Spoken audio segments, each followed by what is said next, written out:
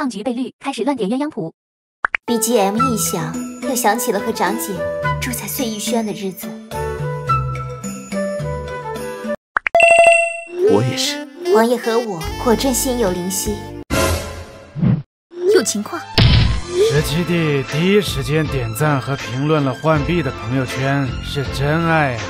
那是因为浣碧的朋友圈提到了他姐姐甄嬛。杀不许抄袭本宫的技能。无所谓了，朕已经找到了新的纯元周边。皇上，请再看这张照片。无所谓了，朕还有世兰周边。不 Q，我心里只有十七爷。哼，笑死！皇上看上的女人都和他弟弟跑了。华妃娘娘不也和十三爷抱在一起？谁说的？皇阿玛的女人也可以和他儿子跑。好，好，好，那朕就一一满足你们。嗯，素素，你指甄嬛喜欢我弟，赐给慎贝勒；玉娆喜欢我弟，赐给老十七；眉庄喜欢找太医爽一爽，赐给魏林；宜修为了得到红石费尽心机，朕颇为感动，赐婚三阿哥，让有情人终成眷属。叶澜依喜欢我弟，会骑马，赐给老十四。哦，英贵人被红石爱慕，赐婚给红石的新阿玛阿奇娜。十分钟后，怎么样了？半小时后，人呢？一小时后。啊！皇上，夏夜的手机已经被臣妾拿走了。不可能，绝对不可能。他在草丛里蹲坑的时候，被小允子一举拿下。小允子是有一些功夫在身上的。胖菊客错 CP 的本领是祖传的。速速传旨，将孟静娴和浣碧都赐给老十七做侧福晋。一。一天后，听说老十七第一晚就去了浣碧房间，朕的 CP 果然是真的。因为好歹是个熟人。笑死！皇上竟然磕错 CP 了！皇上磕错 CP 的本领可是祖传的。先皇磕若曦和十四爷的 CP，皇上磕果郡王和浣碧的 CP。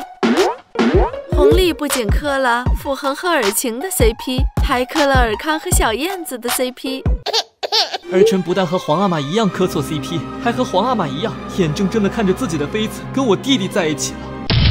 这不是魏璎珞和红皱吗？什么叫和皇阿玛一样？这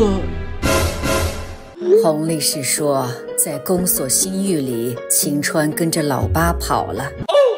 那没事了，原来是串剧了，嘿嘿。那儿臣也来串剧。哼，纯元皇后和皇爷爷。嗯，皇阿玛是庶出，儿臣也是庶出，庶起庶坐，谁又比谁高贵？皇阿玛可以喜欢皇爷爷的女人，儿臣为什么不可以喜欢皇阿玛的女人？你怎配和朕相提并论？皇上将三阿哥移出了群聊，这后宫之中又有谁可以和婉婉相比？皇上将殷贵人移出了群聊，婉婉，那臣妾算什么？你是婉婉的一号周边。甄嬛退出了群聊，几年后，这是婉婉，这是婉婉，这是婉婉。安陵容怒对大胖菊。凌晨两点，皇上今晚在哪里？朕在给华妃侍寝。嗯，皇上撤回了一条消息。华妃在给朕侍寝。皇上，臣妾想听安常在唱歌了。你就来一趟吧。一个赘婿也就该使唤我了。啊！安陵容撤回了一条消息。臣妾马上就来。笑死！安常在卖艺，皇上更惨，还得卖身。十分钟后，此刻朕好幸福。好像爸爸妈妈和两个女儿。哼！皇上将拽妃移出了群聊。更深露重的，真是难为嬛嬛了。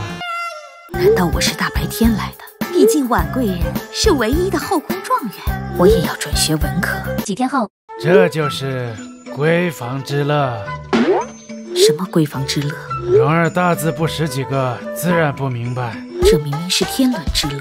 他在说皇阿玛看起来像爷爷带着两个孙女。皇上将安陵容移出了群聊，皇上将三阿哥移出了群聊。想看更多搞笑视频、神仙配音，还在等什么？关注怀秀帮吧，下期再见。